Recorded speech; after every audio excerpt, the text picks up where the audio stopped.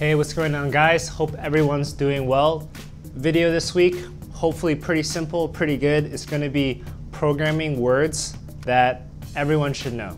All right, part one. Don't ever underestimate the power and importance of just communicating well and concisely. And the way you do that is actually choosing your words really carefully. So the right programming words go into the right places and everybody's gonna know what you mean. You'll work more efficiently, everybody will like you more, and you can just describe what you're doing a lot better. Oh yeah, that uh, thing we designed that does that custom behavior during that special scenario, yeah, that thing, right?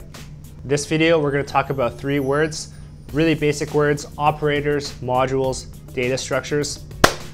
Let's do it. All right, first word we're gonna cover is the concept of operators.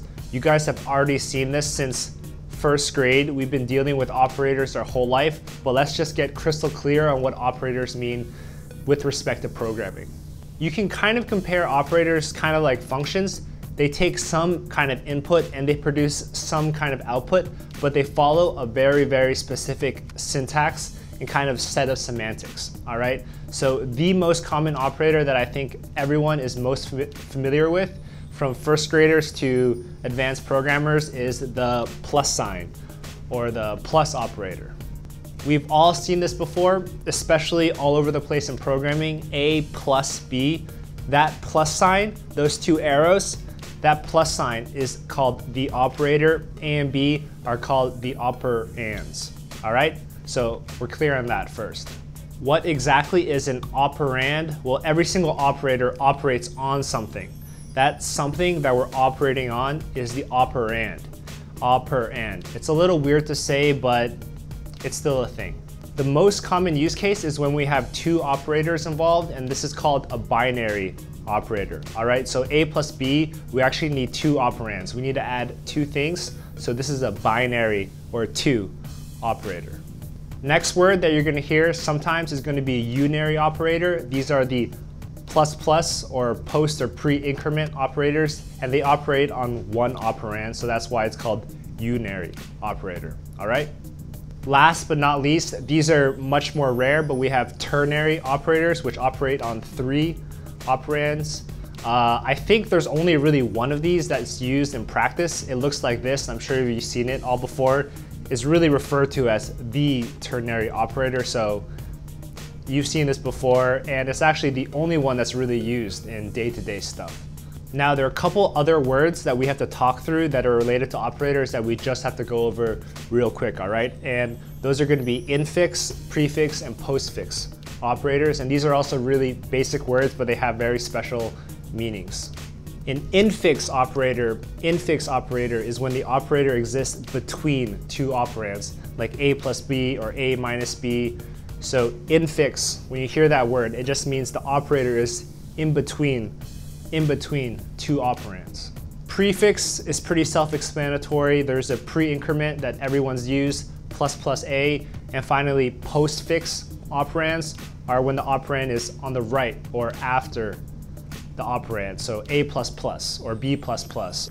Okay, this is the last thing I want to talk about related to operators. I know I've overkilled this way too much, but this is operator overloading and it's a really common, common thing across many programming languages and let's just talk through it real quick.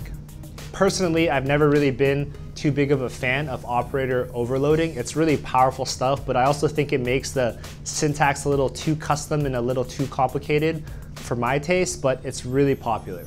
So most operators in any standard programming language have well-defined meanings, right? If you do a plus plus on an integer, it's gonna increment the integer.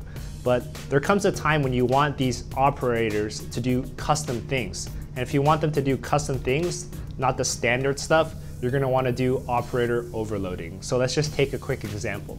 So let's just say you have a sample class like this. This is not any programming language some pseudo language I made up purely for illustration purposes, so don't get mad at me. It's just gonna be a simple class with two members. It's just gonna be an integer and a string that's associated with that integer.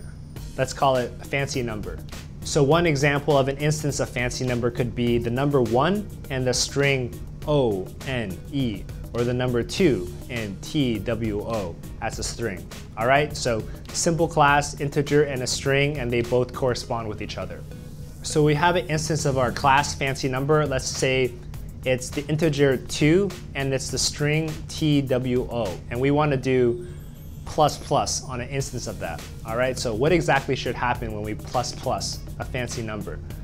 Well, maybe it should increment the integer, right? And then set the string accordingly to whatever we increment to. So if we plus plus fancy number 2, we would get fancy number 3 with string THREE. -E. So operator overloading is really, really powerful, but also really, really dangerous because you could really do anything you really wanted. You can make the plus sign do a minus, or you can make a asterisk sign do a division and just like F up the whole system. So it's a really powerful but delicate thing, and it usually leads to crazy complexity. So I kind of stay a little away from operator overloading, but let's just understand what it means. All right, guys, so that was just a really quick basic overview of the word operator and some associated lingo with operator. We had infix, postfix, prefix. We also had unary, binary, and ternary operators, all right? So a lot of words floating around, but they all have really, really basic meanings. And if you just hear these words being thrown out, you'll know exactly what they mean. It's not really rocket science, but sometimes the words can be a little confusing, but just use them properly. Okay, done with operators. That took a little longer than I expected, but oh well, doesn't matter.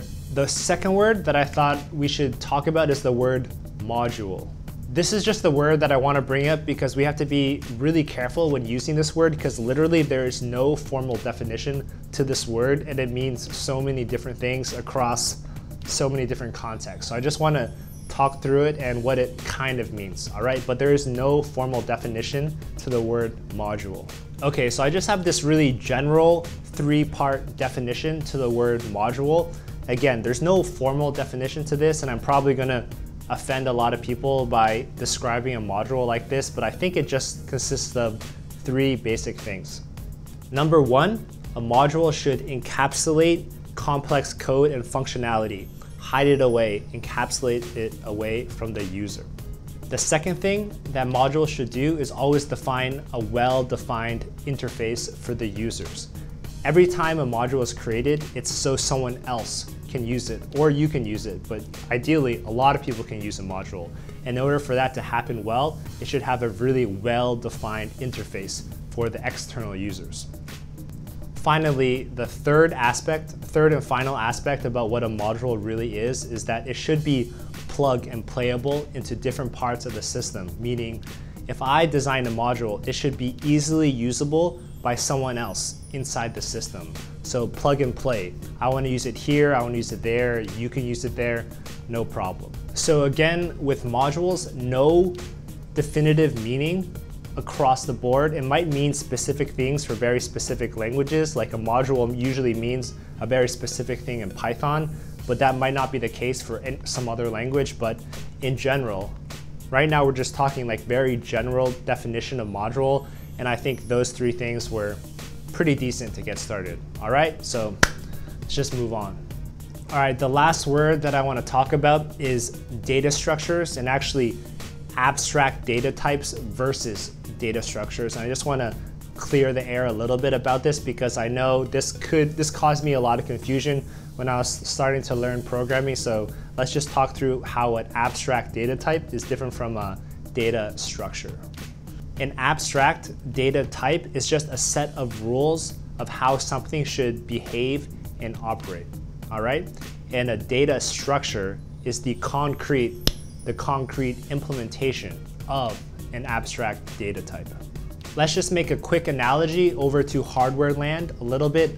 Um, if you guys haven't checked out my CPU videos, remember the instruction set architecture or ISA and what that meant? Well, the instruction set architecture was the set of rules and behaviors that a processor had to follow. Now there could be one ISA, there could be one singular instruction set architecture, but many, many different processors implementing that instruction set architecture. So for example, we have x86, which is one ISA, but let's think about how many different implementations of there there are. Pentium 1, Pentium 2, Pentium Turbo, Pentium Turbo Plus Plus. All those are implementations of a single ISA. This is the exact same analogy for abstract data type and data structures, all right?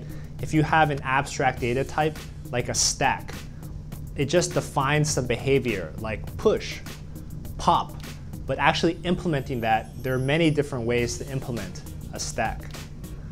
The two most common ways to implement a stack are probably using an array or a linked list or something much more complicated, but just make sure you differentiate in your head the abstract data type, which is just the stack, just pushing, popping, versus the concrete implementations of how you actually write the thing with uh, a linked list, for example. So that's the major distinction between abstract data type and a data structure. I know this is a little confusing, like the word data is in both of these words, but in general, and this goes for all of programming, okay? This kind of concept goes for all of programming, but when you hear the word abstract in any type of context, there's no implementation involved. When you hear the word abstract, just think this is an interface or this is a set of rules I have to follow. There's no implementation for something that's abstract whenever something is abstract, it can't really exist. There has to be concrete things, like concrete implementers of anything that's abstract, all right? So aside from these two words, when you just hear the word abstract in any type of programming context, those thoughts should go to your head first, all right? So just remember that. All right, guys, that's all I had for today kind of a long video, but we only talked about three major concepts. We just talked about operators in a little more detail than we probably should have. We talked about how modules work or should work. And finally, we talked about the difference between abstract data types and data structures. So three really basic words, three words you're gonna use all over the place for the rest of your engineering life, but three words that we everyone should just understand really well. All right, so that's all for today. Um, I'll try to think of something else for part two, uh, programming lingo, but I think this is enough for one video, so I'll see everyone next week. All right, take care and have a great week.